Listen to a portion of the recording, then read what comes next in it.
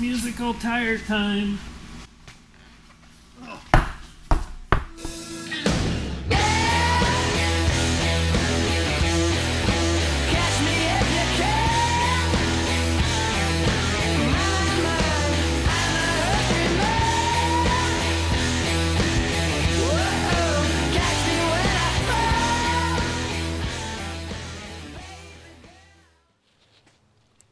The first step to getting stuff done is going to be getting stuff out of the way so I have room to work. The Mustang isn't going to get work done today, so it's got to come out, go outside. Mom Spaghetti can go outside for a little bit too. And I got to clear the lift. This is sort of a project for another day. I picked up the back half of a YJ tub so that hopefully in the future I can actually fix my YJ properly. We'll see if that ever happens. But for now, it's got to get off the lift because I got to pull. What am I pulling in? Mazda. The Mazda's coming in. Will this thing run? Oh, it usually squeals really bad on startup.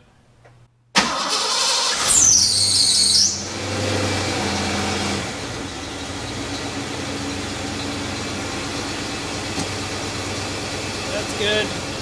That one's running. Will this one run? All right, Mustang. Let's see if that one will run. There we go.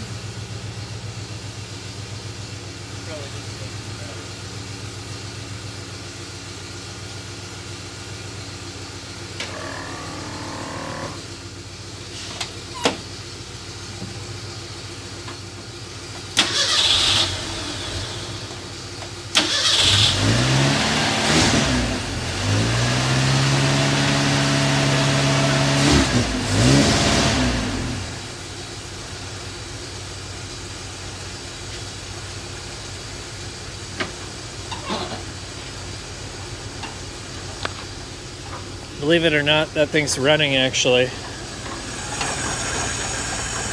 Not very smooth, but it's running. Alright, start pulling cars out of here. First order of business is going to be getting these wheels and tires off of the Mazda. These are the original methods and Maxxis Razrs. I'm going to end up putting these tires on Louis Vuitton because I think they're going to work out really well. All right, let's get this thing racked up and we will swap out, swap, swap, move stuff around. Man, look how hammered this thing is.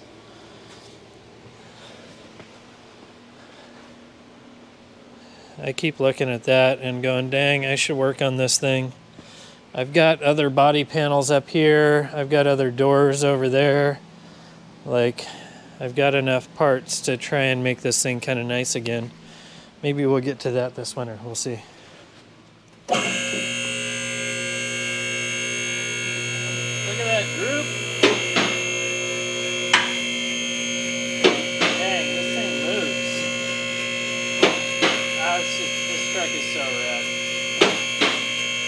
This truck is awesome.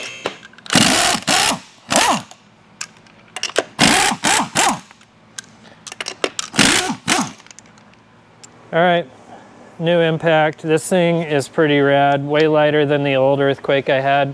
I had one of those Harbor Freight guns from like 15 years ago at least, and it lasted forever. It worked pretty good. It was super heavy, um, but it always worked all right. So it finally died. I had to get rid of it the other day, so I went and picked up that new composite buddy, and it's way nicer than the old one was. God, look at this truck. This truck is awesome. I gotta get these tires off.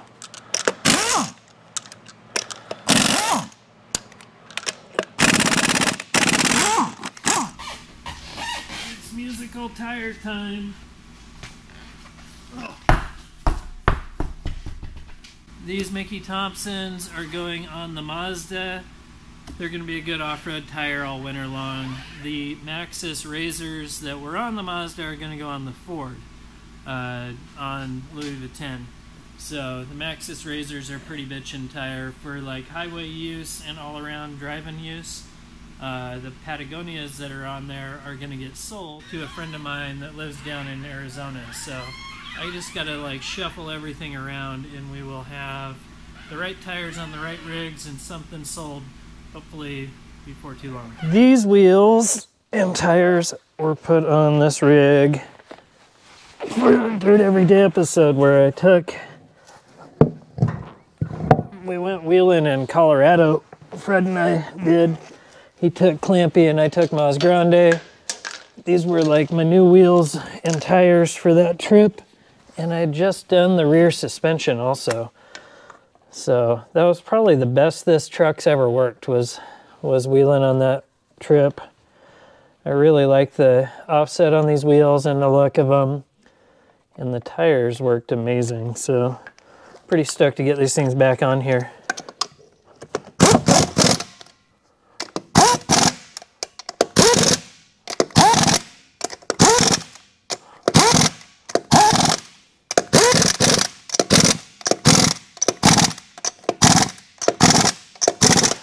We'll get this thing put back on the ground and swap out the spare. Pull this thing out and park it. Pull the old truck in here, Louis Vuitton, so we can start start on that process. I don't know if I'm gonna get very far tonight. It's pretty late and I'm uh, I gotta be at work in the morning, so we'll see where we get. But dang, this truck is cool. This is like the pride of the fleet right here. I love this truck. This truck is awesome.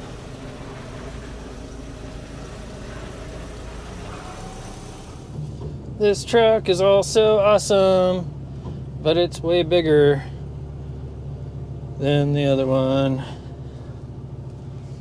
Giant truck, squeaky brakes. All right. Oh no. These tires are ready to start breaking down. I pulled the valve cores out so they're all flat. Now I can start taking the beadlock rings off.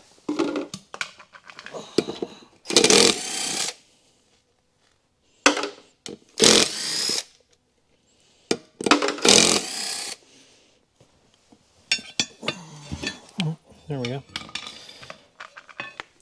Alright, let's go hook up the tire machine. Everything is a mess.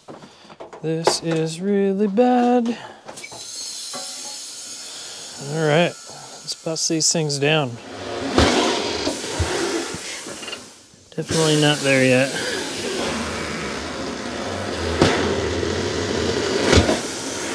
I'm to get this to do its thing without damaging the tire. Should be there.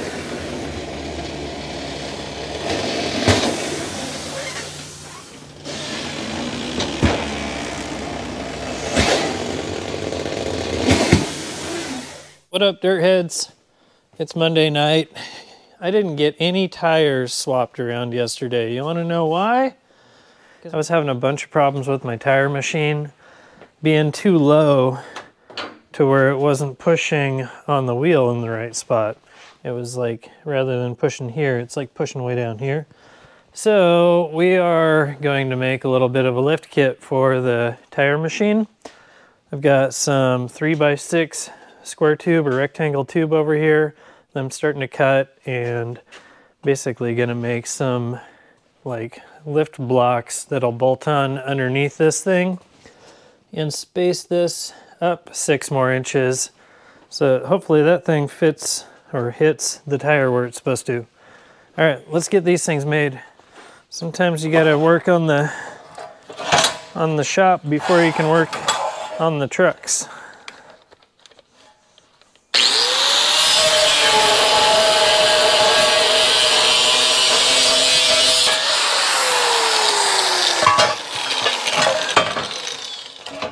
Go ahead and just sand all the little razor edges off of this thing.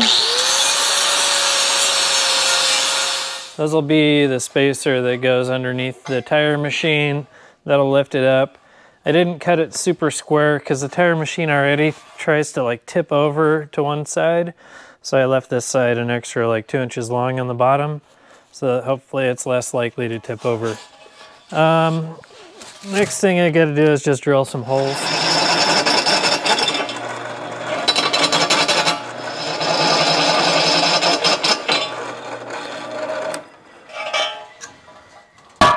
Sweet, one lift block made. I'll bust out the other one real quick. Now we just gotta figure out how to get this dang tire machine off the ground. It is super heavy. Grab the floor jack and pry bars. How are we gonna do this? Look at that.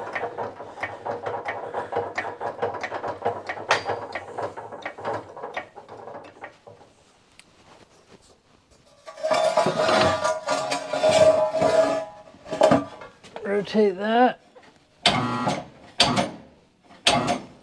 And then maybe just jack up off the plate. Not what I want to do, but see if it gets weird. That's pretty sketchy. All right, let's see if this thing works. There it is. Come on. Come on.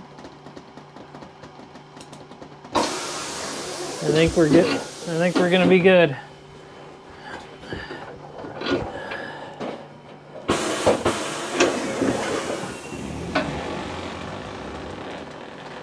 Oh yeah, it's past the it's past the bead. Yes. Yeah. Let me see your ball. See your ball. Let me see your ball. Hazel. Let me see your ball.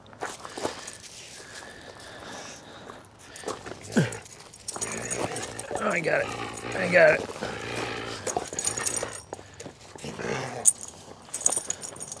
I gotta go to work, Hazel. Can't just play. I can't just play all the time. Love you. Oh, jeez. Love you. Good girl.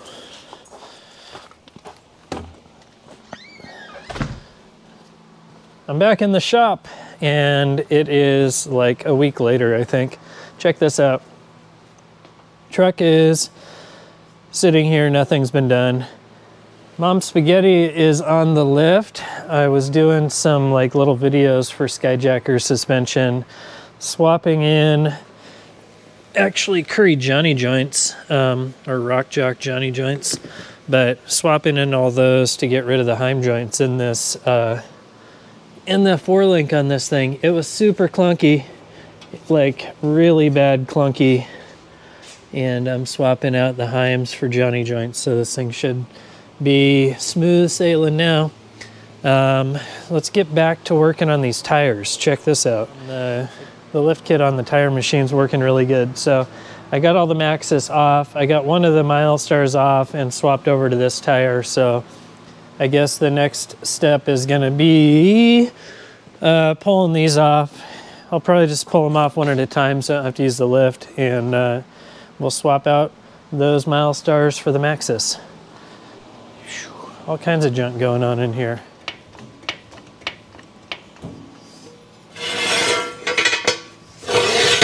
Oh, very loud. Where's my wheel lock key?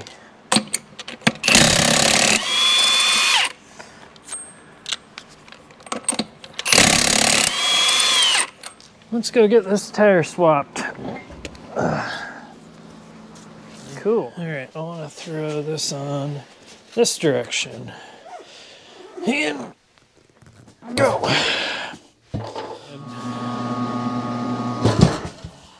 Tire machine kind of jacked these things up. Ah! Let me go grab my hardware and beadlock rings.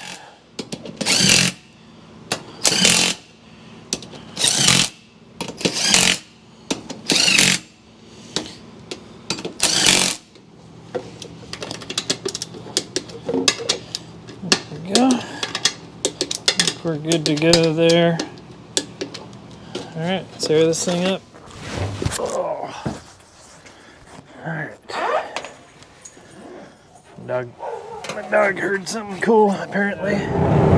Junkyard down the road has a Ford Pinto with an 8 inch in it. So we're going down to the junkyard and see if we can get a Ford Pinto 8 inch before the sun goes down. I only got an hour. They close early. It's like wintertime hours. So we got to go hustle this out and see if I can track down the perfect rear axle for my Mustang II. Check this beauty out. Dang, this thing is hammered. Yeah, no, no, it's not. It's beautiful. Oh my gosh. This is the coveted 8 inch four lug rear end, and this is four on four and a quarter, not four on four and a half. So this thing should be like ideal for going in my junker. We're gonna try and bust these U-bolts off and drag this thing out of here. Hopefully it goes smooth. There it is. Dang. Radical.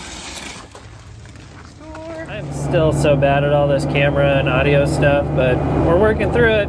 Things are getting good. It's like a year and a half later, and I'm still making videos, and they seem to be doing all right, having fun with it, so that's cool. Anyways, I am driving the truck, and it is it is definitely better on these tires. Um, still have a little bit of a hop to them. Like right now, I'm getting a little bit of tire shake in the front end. Speedometer's way off, but I'm doing probably about 58 miles an hour. It actually smooths out really good at like 65, so I think we're doing all right on tires. I'm excited to put some miles on these and start scrubbing them down and using them. They've been parked for so long just sitting on my Mazda because that thing doesn't get driven a whole lot. So it's cool to actually put some miles on them let you guys know what I really think of them. It's hard to give like an honest tire test when you just have them on a wheeling rig and you're only you're only using them like once every other month, you know. So um, truck is doing good. There's a whole pile of things I want to redo on it and update, and uh, I wanted to kind of go over that. I know quite a few of you have asked like if I could do an overview of what I would change about this truck. Um, there's a whole pile of things that I want to change and do different. Um, the main thing I want to do is undo the cab being welded the body. I want to go back in, cut cut loose the rock sliders, cut loose the cage to the body stuff, and take my time and do. Uh, do actual like rubber mounts or urethane mounts to the for the cage to the body. The other thing I want to do is get rid of these seat belts. I want to put a stock style seat belt in, or even if it's not a stock seat belt, something that um, like is a little he's not as bulky. I don't necessarily need these big pads on here. I need to readjust these things so they're down a little bit lower.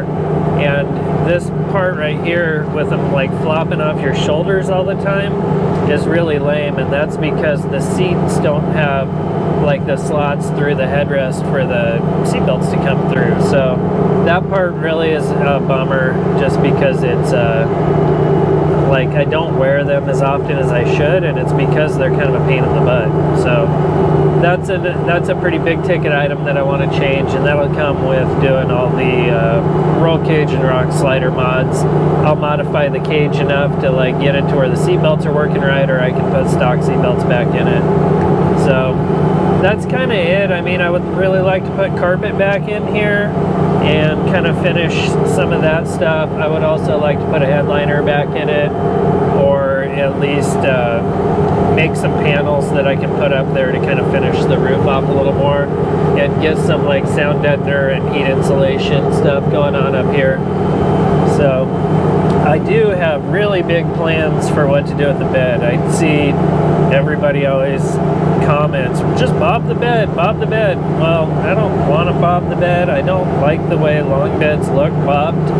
Um, I love the way a short bed looks that's bobbed, but a long bed that's bobbed kind of looks like a corgi. It's like got this really long body and then like this little short overhang in the back. So I have an idea of what I really want to do on the back of this, and it's going to be a huge project. Uh, hopefully, if things go well, I can get that all sorted out and under control and happening uh, at some point this winter. Um, it would be really great if I could like have the, uh, the, the road's really icy. Sorry, I'm like trying not to trying not to slide off the road. Um, I would really like to try and have the bed sorted out in the spring um, because I think it would be a really cool, really cool new look for the truck. So keep an eye out for that. Other than that, I'm gonna go home. I'm gonna park this rig. It's gonna um, it's gonna get some daily driver duties, and hopefully when it starts snowing and we start doing a little bit of snow wheeling runs, I can get it. I can test out that rooftop tent, do an overnight trip camping out out of this thing. So I think that's it for this dirt head shed. Thank you guys for watching.